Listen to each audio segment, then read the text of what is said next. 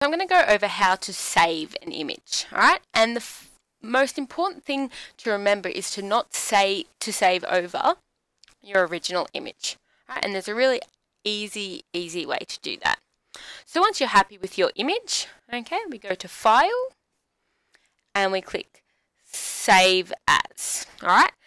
And the reason we click Save As is because we don't want to save it as a Photoshop file we want to save it as a JPEG file. So anyone can open it on any computer, even if they don't have Photoshop, and you can print it out really easily.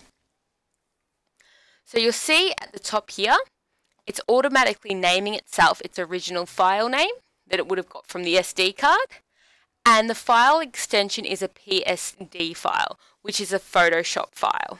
Okay, so you could potentially save it as a Photoshop file, and all these um, layer properties will still be saved. You can open it back into Photoshop and keep working on it. So you can do that if you want to keep working on a photo and you haven't finished during a lesson.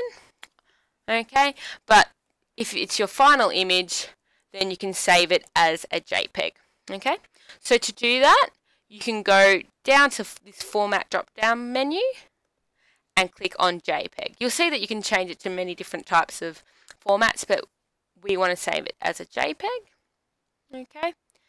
And it automatically saves as a copy. Okay, so it says DSC0076 copy rather than just the DSC0076. You can do it that way and then save it to whatever folder that you like. Or you can rename the file. So you might want to rename it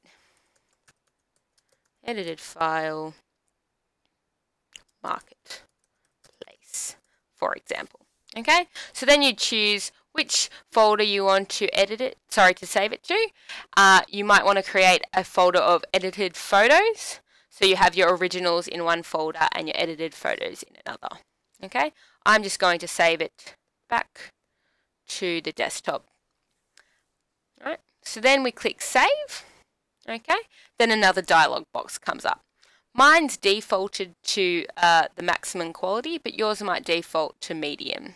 Okay, so depending on what you want to do with your image, if you want to print it in a large format, like A3 or something like that, you'll definitely want to save it as the maximum quality.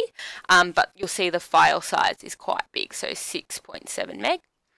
Alright, or you can save it as, a, say, a medium file if perhaps you only want to upload it to the internet or to your Flickr account, perhaps and you can also save it as a really small file, but I wouldn't recommend it maybe only if you wanted to email it to people, but emailing allows you to send quite big files now, so that probably won't be the case. Okay, but I want you to save it as maximum, so you can either manually type into 12 into the quality box or just select maximum in this drop down menu. And all you need to do now is press OK, and the file has been saved to wherever location that you chose.